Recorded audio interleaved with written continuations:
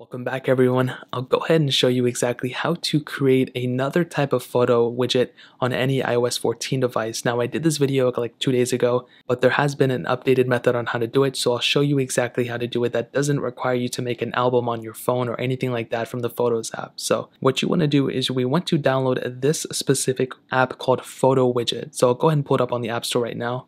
So all you want to do is type in photo widget within the App Store and you will find this one. You don't want to download widgets. I would still recommend downloading it because it's a really good app.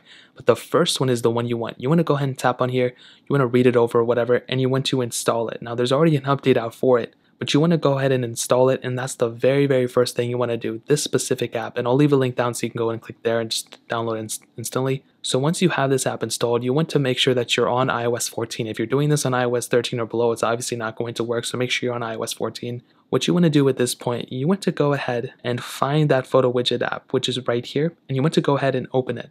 Now once you open it you will not see anything that I show you here. You'll just have a blank page and in fact I'll go ahead and delete these photos right now so you'll probably end up having this blank page right here. Now what you want to do is you want to go ahead and click this plus button and it'll go ahead and take you straight into your photo library. Now it may require you to actually allow access to the photo so you just want to say allow access to photos or whatever and just go from there. Now at this point you want to find the specific photo that you want to put there. So in this example I'll go ahead and just take this screenshot that I found on Reddit and I'll go ahead and post it here. Now it's probably not going to work that well because it's a little bit of a bigger screenshot. So I'll probably have to do it again. I'll click here and I'll click the TikTok one instead. So this will probably end up working. So once you have a photo loaded that is compatible and everything working on it, you want to go ahead and hop out of the app and then you want to hold down on an app or on a widget or whatever and you want to basically click on edit home screen just like this. So once you have that done, you want to go ahead and click on the top corner where it has the plus button and you want to scroll all the way down until you see the photo widget. So as you can see, here's the photo widget right here. I can go ahead and tap on it and you'll go ahead and see these different options. You want to go ahead and click on the specific option that you like. In this example, I'll go ahead and click on this one.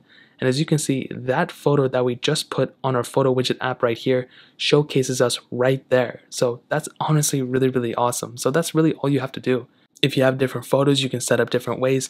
And I had it right here as well. As you can see, I had set up different things. I had, you know, the same photo on it, but that's basically how it looks like at the end of the day. And it's a really easy process. It really doesn't take up too much time, but this is just another way to do it. Now, if you want the photos to change, you know, from different things and different photos, what you can do in this case is go ahead and open the app. You can go and click on the settings right there. You'll come into this page. Now, you'll go ahead and see the photo refresh interval right here. You want to go ahead and tap on it you can go ahead and make it so it changes every hour, every 12 hours, every 5 minutes to never. So that's another really cool thing you can do if you have a lot of photos here. You can go ahead and do about and go about it that way. So that's pretty much another way to set up photo widgets on iOS 14. That's a little bit easier. If you guys have a if you guys have any other questions or anything, let me know in the comment section below.